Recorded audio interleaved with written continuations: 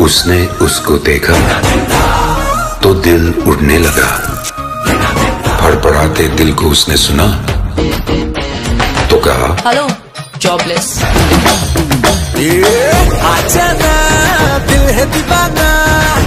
अचाना दिल है दीवाना। A story of the good, the bad, and the pretty. You're so pretty.